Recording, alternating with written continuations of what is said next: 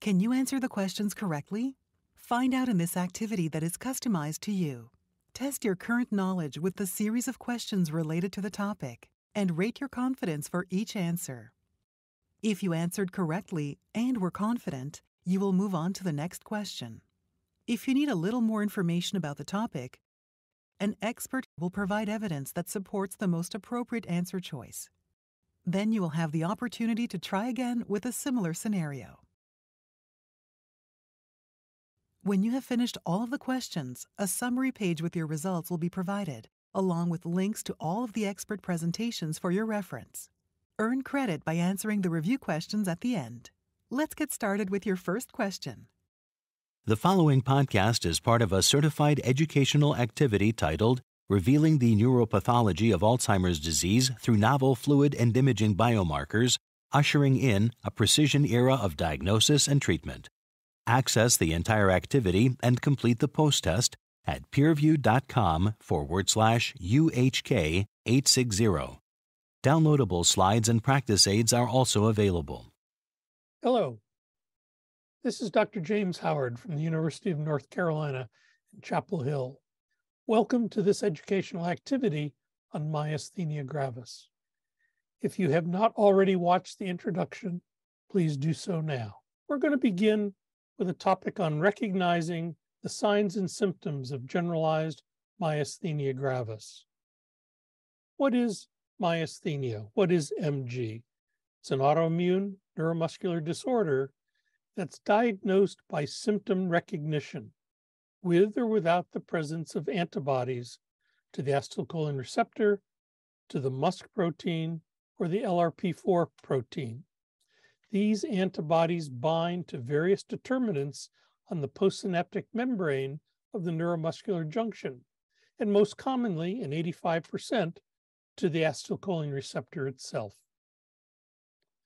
The symptoms of myasthenia gravis are quite varied, and we call this a snowflake disease. And while there are common themes, each individual has its own presentation and subtleties that need to be recognized in order to come to a diagnosis. They may involve multiple domains ocular, bulbar, respiratory, and limb, as well as axial muscles. While ocular presentation is most common, 85% of individuals will ultimately experience generalized disease. The core manifestations of myasthenia are fatigable muscle weakness, made worse by activity, improved with rest, only to recur once the activity is resumed. First noted back in the 1600s by the anatomist Sir Thomas Willis. And it's the symptom fluctuation which is the hallmark of the disease. And to be able to demonstrate that, particularly in the eyelid or the muscles of eye movement, one has essentially made the diagnosis of myasthenia. Bulbar weakness involvement results in dysarthria, dysphagia, weakness and fatigue of the jaw with chewing, with speech, etc. Axial weakness may affect the neck, more often neck flexion than extension, but neither is spared. Limb weakness is typically symmetrical, more proximal, but distal muscles are also involved. And this includes weakness of finger flexion, extension, foot drop.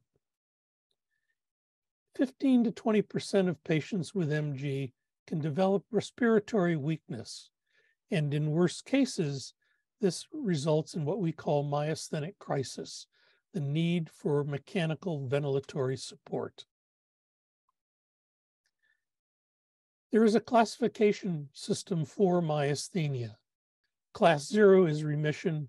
Class five, as we already said, is respiratory failure requiring intubation and ventilatory assistance. Class one are those who have restricted ocular disease, it may be simply a droop of the eyelid, or it may be double vision or combinations thereof. Class two is mild, three moderate, four severe. And then we subdivide these three classes by the overwhelming or the predominance of the presentation.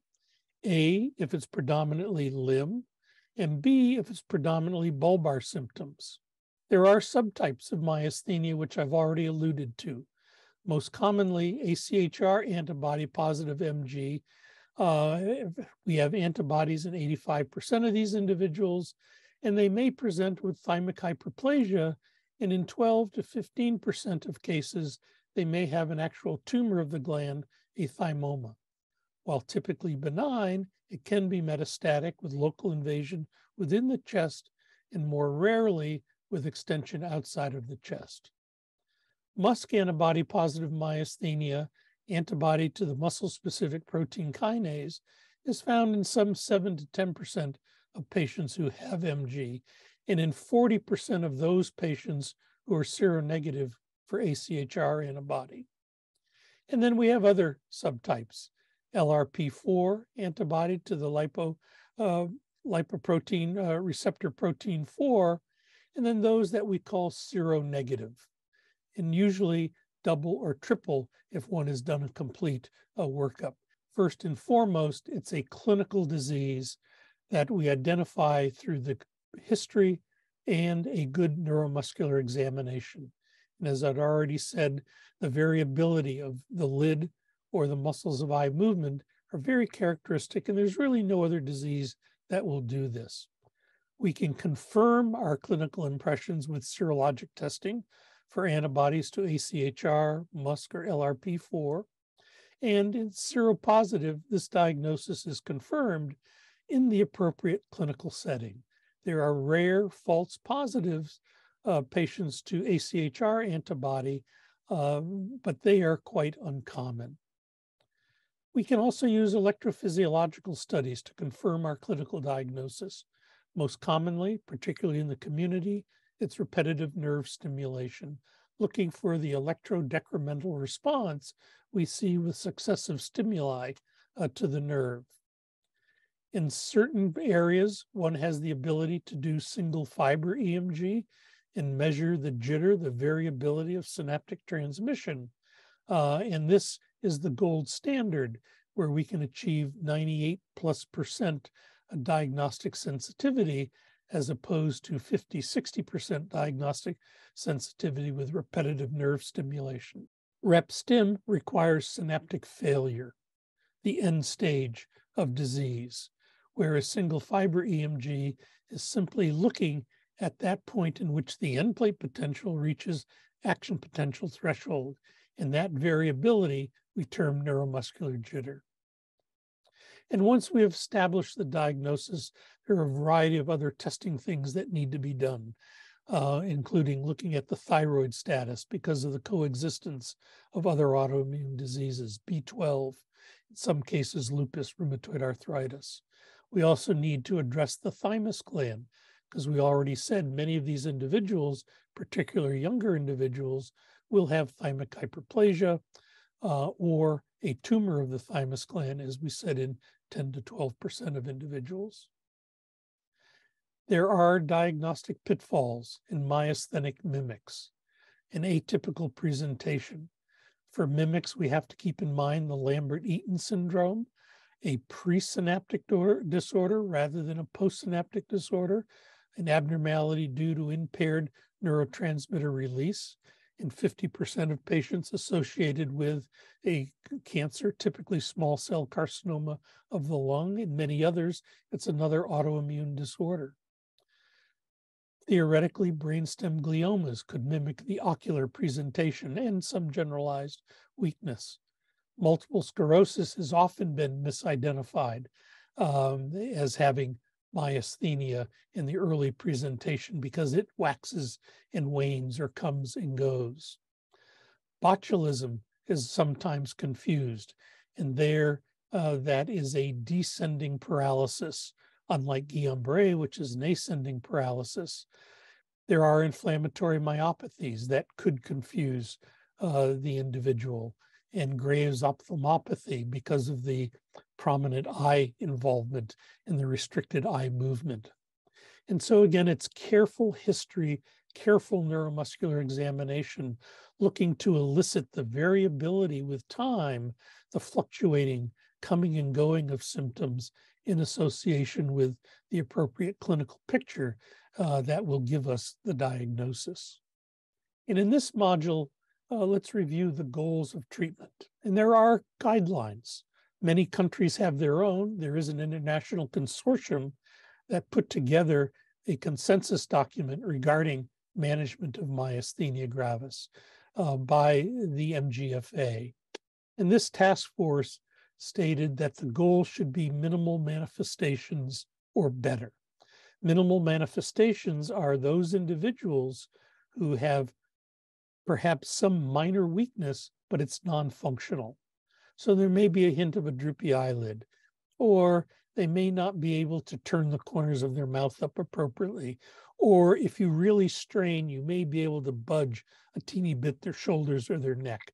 Non functional impairment, and we would classify this as minimal manifestations. We can take this one step further and use minimal symptom expression. And we'll come to the outcome measures that we use, one of which is the activities of daily living score and minimal symptom expression, MSE. Another goal uh, is MGADL scores of zero or one. But going back to the task force, they also said that adverse events as the result of our treatment should be absent or mild, class one or less. And they defined remission as having no signs or symptoms of MG other than weakness of eye closure. And in the majority of patients with MG, that muscle never becomes normal. But on careful exam, and I underscore the word careful, there is no evidence of weakness in any other muscle group.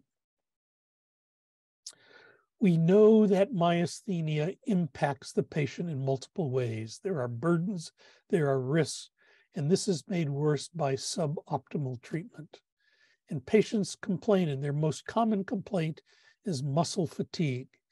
Myasthenia, because of the fatigue and because of the weakness, tends to make people become anxious, lonely, depressed. They feel like they're a burden to their friends and their family. They're afraid to get out and go for fear that they may be weak or become weak during an activity and then be stranded, if you will. In addition, suboptimal treatment increases the risk of myasthenic worsening, which increases healthcare utilization in terms of clinic visits, hospitalizations, and in the worst of cases, ICU care uh, in prolonged hospital stays. We have found that up to 50% of treated patients do not meet the goal of minimal symptom expression, as I said, measured by the activities of daily living score of a zero of one. 20% of patients uh, treated uh, are refractory to therapy. Now, that number is debated in certain circles, and it depends upon the definition of uh, refractoriness, and it varies in various uh, situations. But in general, 15, 20% do not have a great response uh, treatment. And then if you add in the adverse event profiles of your treating regimen, I believe this figure goes up over 50%. In addition to failing to recognize patients who have not done well, uh, we often, as clinicians, overestimate patient satisfaction with treatment and underestimate the burden of disease and the burden of treatment. And the patient often believes they should not burden us with other things. And they don't bring to our attention the global impact of the disease in their overall well being. And so, under development are a variety of apps that are gathering real world patient reported outcome measures. These are observational studies. Uh, this is occurring throughout several countries. And the data, helpful, hopefully, will allow us to improve our understanding of the generalized myasthenic patient in terms of its natural history, in terms of its humanistic and economic burdens, its clinical features, and epidemiology. There's one app that's being developed now that will actually measure ptosis. It will measure strength as manifested by arm outstretch times. Uh, it will measure dysarthria by detecting voice uh, pattern changes in one's spoken speech. A survey conducted by MG News with nearly a thousand uh, respondents uh, demonstrated what I show you here, that 28% were very satisfied with, with their uh, disease, um, but about 13% were dissatisfied, somewhat or extremely dissatisfied. And there was about 14% uh, in the middle. And then when asked about their quality of life, uh, it's very interesting that the numbers who were satisfied with their treatment response, their quality of life was much less. Nearly 40% of the respondents highlighted fatigue as the most uh, as the symptom that most affected their their daily life and their quality of life. And we've had this theme uh, throughout the, this talk um, and identified fatigue as the most bothersome adverse event in terms of their, their treatment. We don't know what causes this myasthenic fatigue, and we don't have good treatments to date uh, that will address this directly. Um, and there, further research needs to be done. There is some data coming out that some of our newer therapies may improve upon this, uh, and that will be very gratifying to us as well as our patient community. So the next question comes what drives a clinician to change treatment? What are the indications? And I think we can put these in several categories. One is that efficacy wanes. And we've seen that with a number of the therapeutics that we currently use. Uh, and it's the most common reason we have for either switching a drug or stopping a, therapy. Um, people who are wedded to corticosteroids, such that we can't taper the dose. And as we attempt to taper the dose, they have exacerbations of their myasthenia. And so we have to push the dose of prednisone back up. Now, the risk of that is the accumulating adverse event profile over time due to the higher corticosteroid doses for much longer periods. The other thing to change uh, therapy is those individuals have repeated exacerbations or myasthenic crises.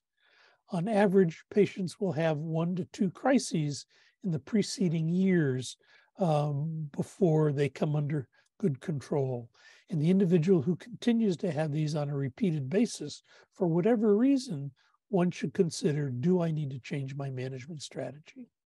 And of course, uh, the inability to tolerate a treatment because of a particular adverse event. Even with suboptimal disease control, we find that many healthcare providers and patients alike are reluctant to change treatment strategies. Well, part of it uh, is that we don't have a good consensus on what optimal disease control is, uh, and we're getting better in the International Consortium guidelines that were published says minimal manifestations. Others of us say minimal symptom expression uh, with minimal to no adverse events.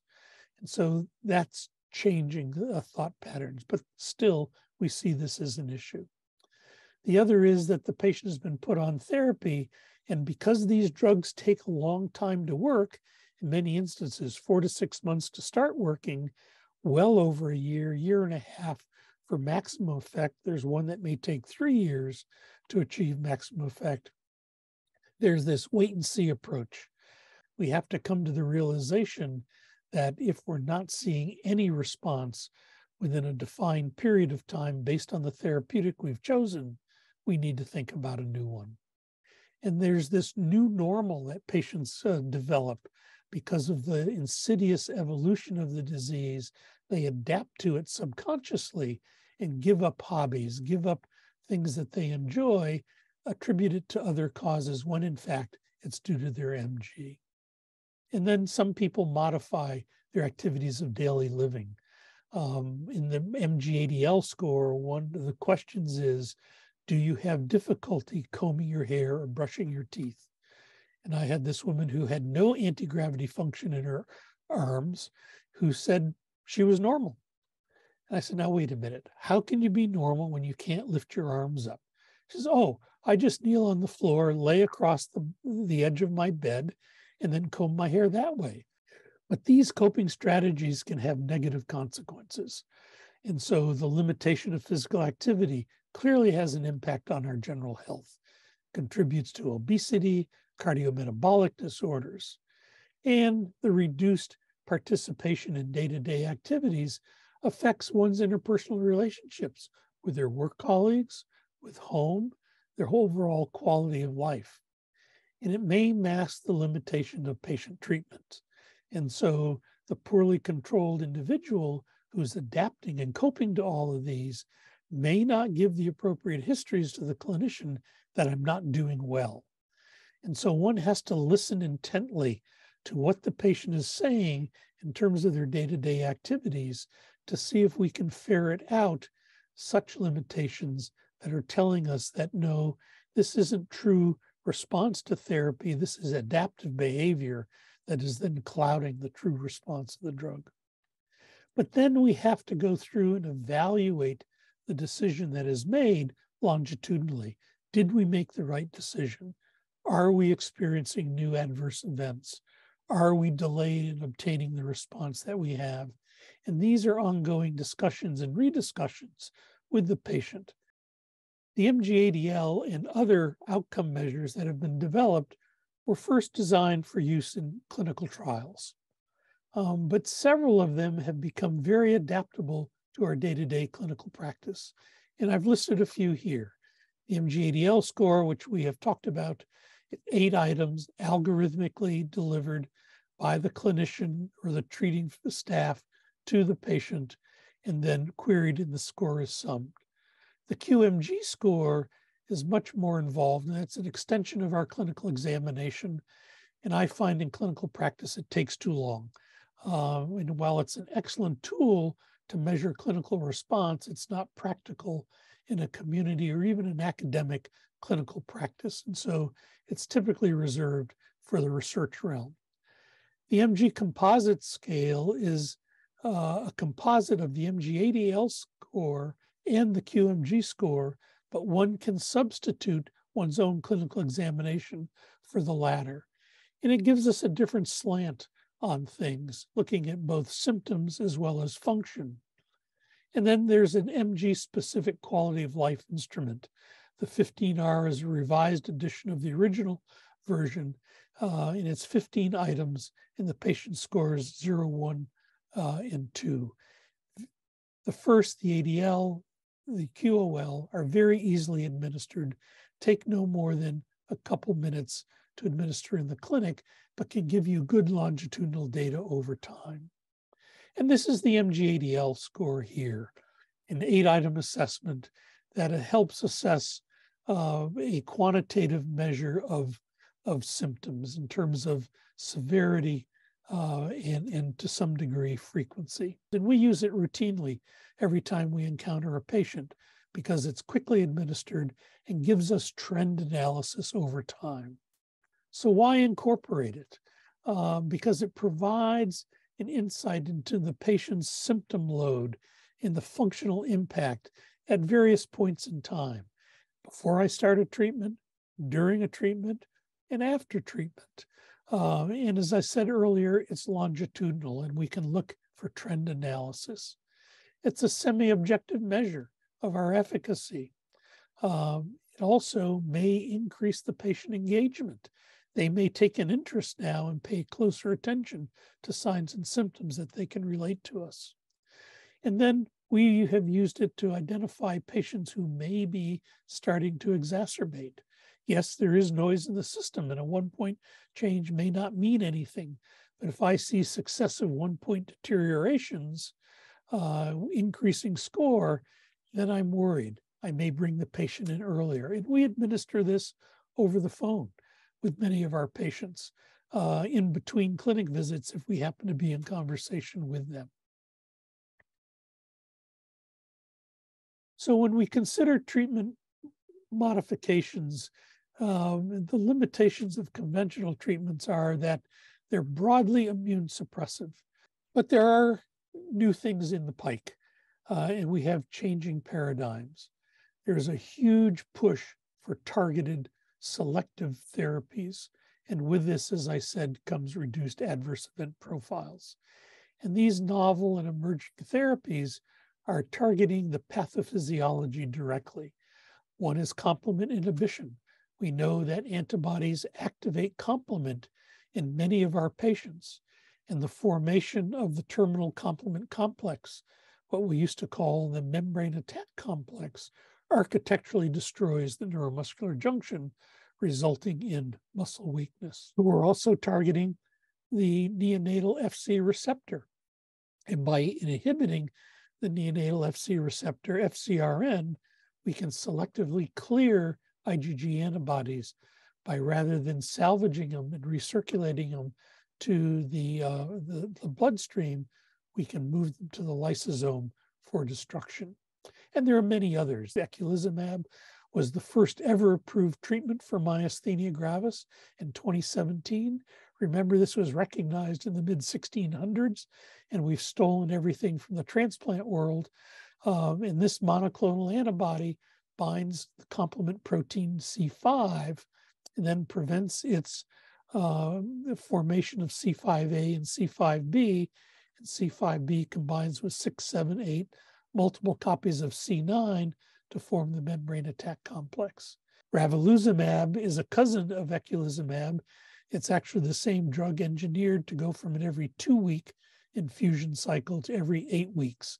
Targets the same, C5, uh, and it's weight based, and its risks are identical. All complement inhibitors have essentially the same adverse event profiles. Um, and then there's zilucoplan, which is a little bit different. Uh, this is at the FDA uh, here at the end of 2022, uh, and hopefully it will be approved in the first to second quarter of 2023. But it binds to complement protein 5, but also 5B. And so if any complement gets dissociated, C5 to C5a and C5b, it has a second chance of getting C5b. And again, inhibits the formation of the attack complex. This is not intravenously administered. This is administered by daily sub-Q uh, injections of a very small volume, uh, and it is extremely well uh, tolerated. There are several FcRn antagonists. The only one that is approved is efgartigimod. Uh, it's an IgG1 fragment, uh, and it's the first in class. It's administered by intravenous infusion on four weekly uh, doses, and then patients are observed. And we've seen durability that goes from every four to six weeks in 11% of patients to more than 50% having durability of response in excess of two months and a third in excess of three months. But several other FcRn inhibitors are in trial right now. Rozanolixizumab has just completed phase three. This is a subcutaneous infusion. It's not an injection, it's an infusion. Uh, nipocalimab is an intravenous infusion uh, every two weeks. Uh, that is still in phase three, and batoclimab uh, is just starting a phase three uh, trial. Efgartigimod is completing a trial with a subcutaneous formulation uh, that in the initial data that has been presented shows non-inferiority to the IV infusion. And so patients will have a choice of IV versus sub-Q uh, for uh, to meet their particular needs.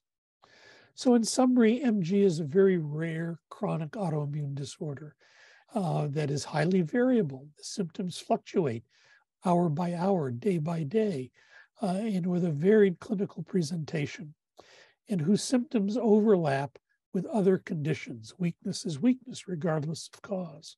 And it makes the diagnosis challenging. And we can diminish that challenge by very careful uh, history and focused neuromuscular examinations. Treatment responses are variable, and patients' coping capabilities may mask the true response that they've had uh, to the treatment.